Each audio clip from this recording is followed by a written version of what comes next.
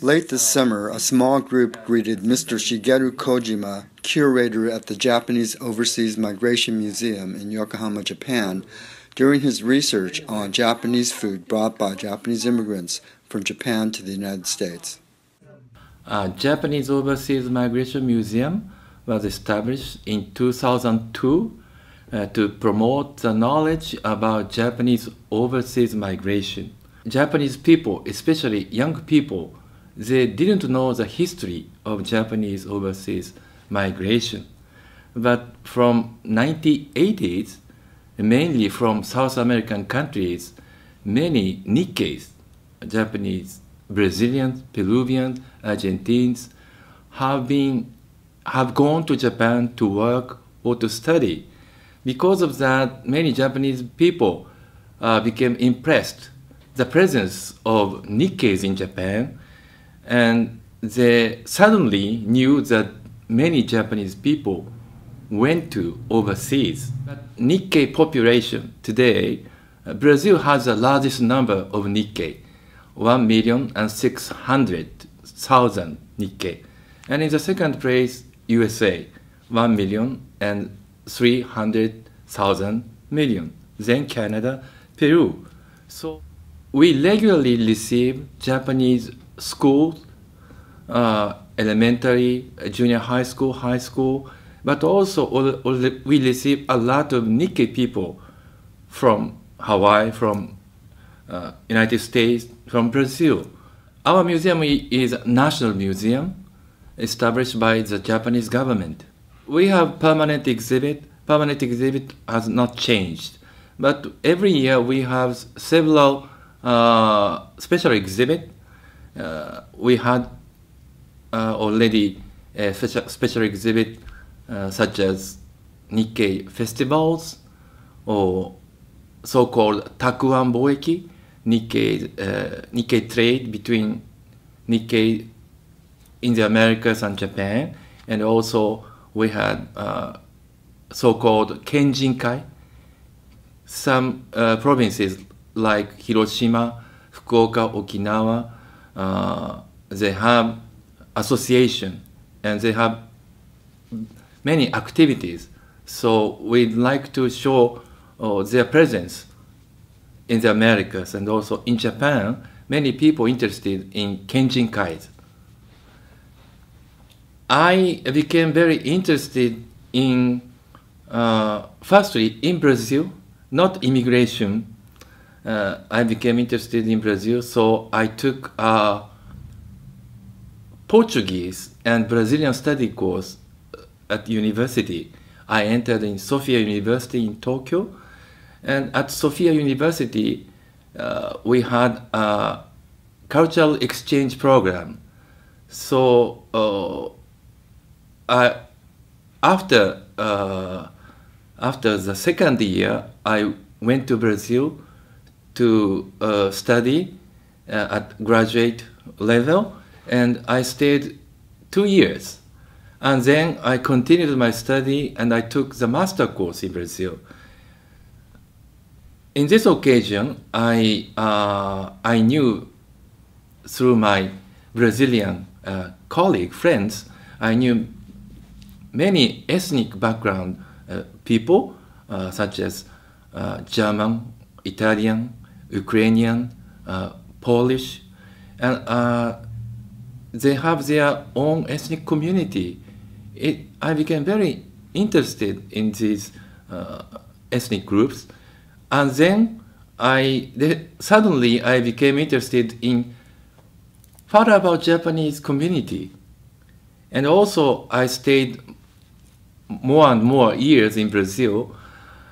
Uh, I myself changing, and I I was thinking I will be a Brazilian.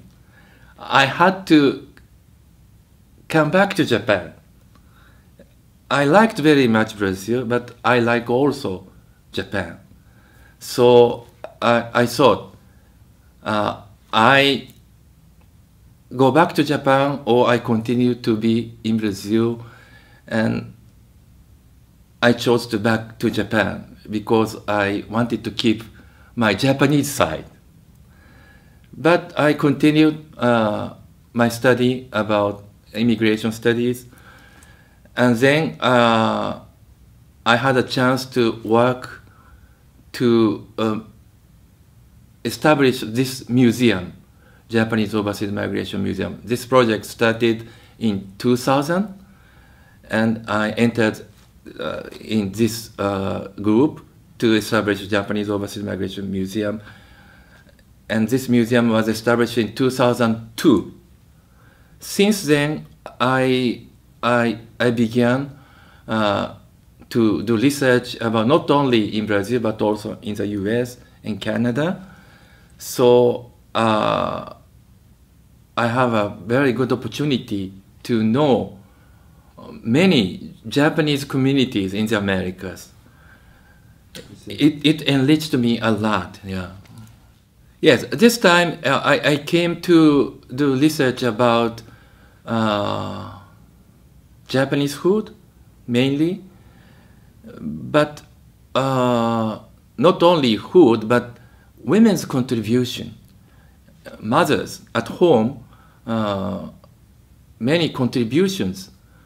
Until today, at our museum, uh, women's contribution is not uh, so clear.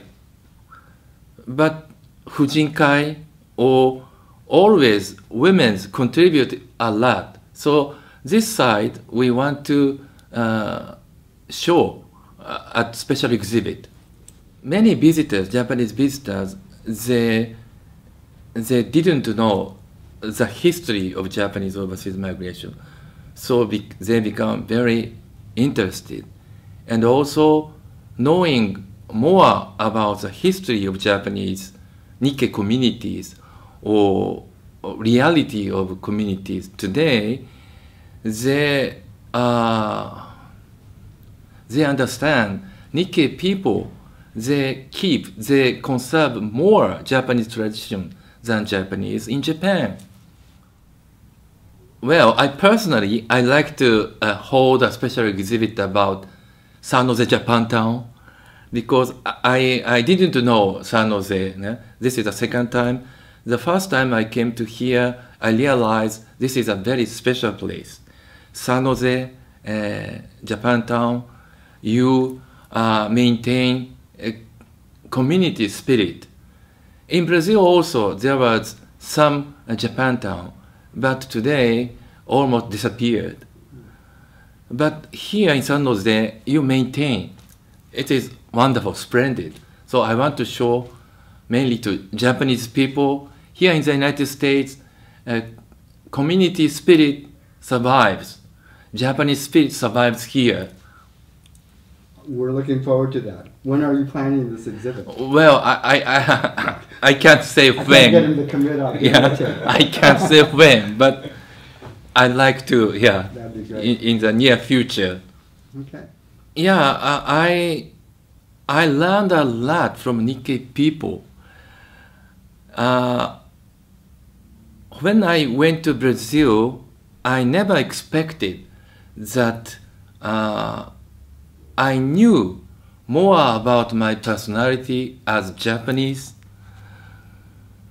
in Brazil, uh, Nikkei community in Brazil.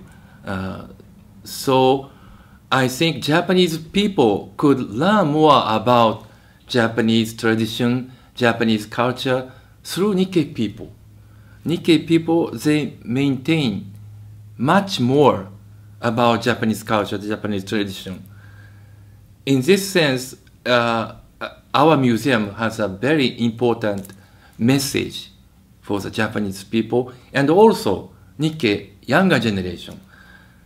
Because of that, LARA exhibit, License Agency for Relief in Asia, very important history, and third generation, fourth generation, they, they don't know this history. Very important to uh, pass on th- those histories and realize the importance of Nikkei community in the Americas and also in Japan.